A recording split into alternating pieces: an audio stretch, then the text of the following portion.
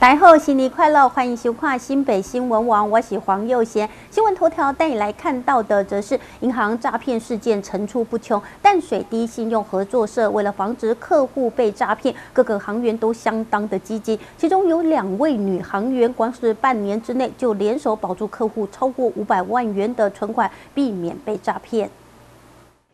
银行诈骗事件层出不穷，诈骗集团大多锁定年老的族群。淡水第一信用合作社为了防止客户被诈骗，各个行员都相当激进。今年初，一名七十岁的陈姓老妇人遇到了假检警真诈骗事件。依诈骗集团指示前往淡水第一信用合作社的总社要汇款时，还好经手的行员发现可疑，立即通报警方前来处理，及时阻止他汇款，成功保住了六十八万元的养老金。而这两位行员光是在半年内就联手保住客户超过五百万元的存款，避免被诈骗。呃，最近是还蛮多的啦，对对对，所以有那个就是欧丽上欧巴上来，就是来临柜来领大额的现金的话，我们都会询问关心一下他的金钱的那个资金往来用途这样子。嗯，所以对，基本上如果比如说客户的存折五十万，他几乎领光，那一般的客户不会，一般的客户他可能五十万里面他可能只有领生活费，可能十万二十万，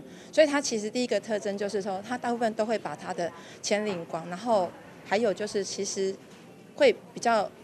容易紧张，其实从他们的神色，他们会比较对，就会看出他们其实很紧张，对。对，会很紧张，然后大部分就是会坐在椅子上，会坐立难安。行员说，从许多诈骗案件来看，他们所遇到的客户来到了临柜，神情都非常紧张，而且都是要提领大笔的金额，甚至要将整个户头的金额提领一空，就有可能是被诈骗。淡水第一信用合作社张协理说，平常对于行员在与客户对话业务当中，就有加强训练防诈骗。这方面我就要求我们同仁，因为我们经常在做这。个教育训练，那会针对这个一些案例的部分哦，我们会跟同仁做宣导。那如果说我们遇到这个客户，我们感觉上他有被诈骗的一个嫌疑的话，那我们会利用这些宣导、这些案例去跟客户做个提醒跟说明。那其实我们金融业最大的角色就是要扮演好一个把关者的角色，我们把客户的钱把它守住哦，不要让他受到这个无谓的一个诈骗，受到财产上的损失